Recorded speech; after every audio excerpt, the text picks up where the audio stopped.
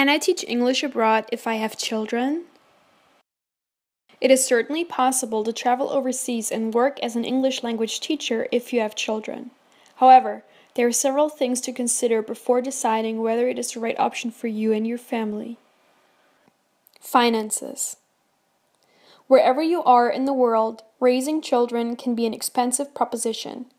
So before you head off to teach English abroad, you need to be sure that it is financially viable. As pay levels vary greatly from one region to the next, where you plan to teach is one of the most important decisions you will have to make. Europe and Latin America are both very popular destinations for ESL teachers, but it is not easy to earn enough to support more than one person in these regions. In contrast, across Asia there are several countries such as China, South Korea, Taiwan, and Japan where a mix of high salaries and a lower cost of living make it possible to comfortably support a child on a single teacher's pay. Education. If your child is preschool age, you will need to consider the cost of daycare or the services of a nanny while you are at work. Once again, these are likely to be much more affordable in Asia than in Europe.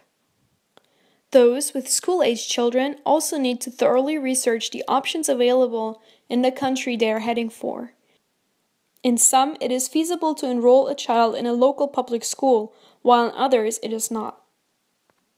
If it is possible to enroll your child in a local school, you still need to consider whether it is a suitable environment.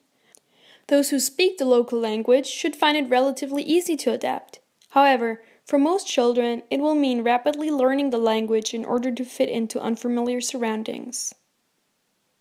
This might be realistic for young children who often find it easy to pick up a foreign language, but for teenagers it could be much more difficult. In countries where local schools are not an option, a British or American based international school is generally the only alternative. While these offer a high standard of education, the cost is likely to be beyond an average teacher's salary.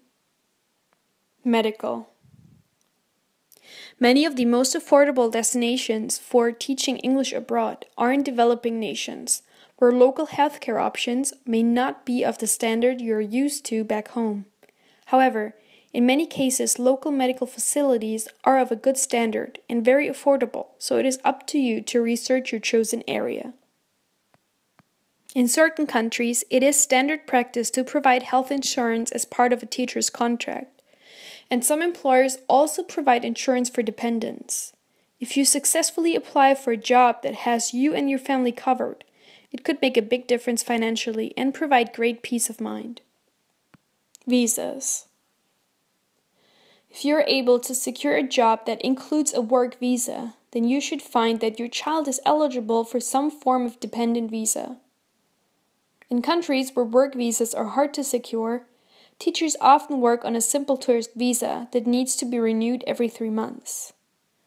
While this is common practice for many, teachers with children need to check with the authorities to confirm whether their child is eligible to attend public school without a long term visa.